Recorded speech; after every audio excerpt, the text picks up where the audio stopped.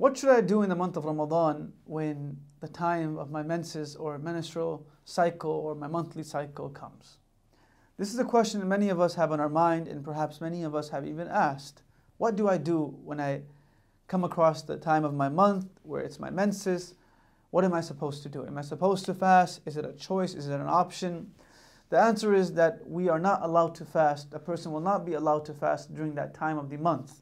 Um, they will do other types of ibadah to connect to Allah subhanahu wa ta'ala and increase their spirituality, but they will not be allowed to fast. However, they will be required to make up those fasts after the month of Ramadan. Unlike Salat, when a person is going through their cycle in their menses, they do not pray, neither do they have to make up their prayer. Right? It's very specific.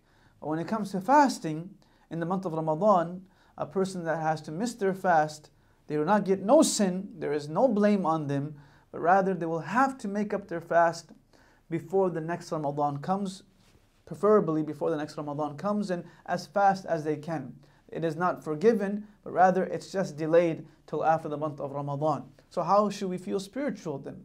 We feel spiritual through other means of ibadah and worship, such as dhikr, such as serving people, and doing muraqabah and thinking about the greatness of Allah subhanahu wa ta'ala and listening to different halaqas and enjoying different classes of knowledge that are being provided throughout the month of Ramadan. And through those means, we hopefully can increase our spiritual strength.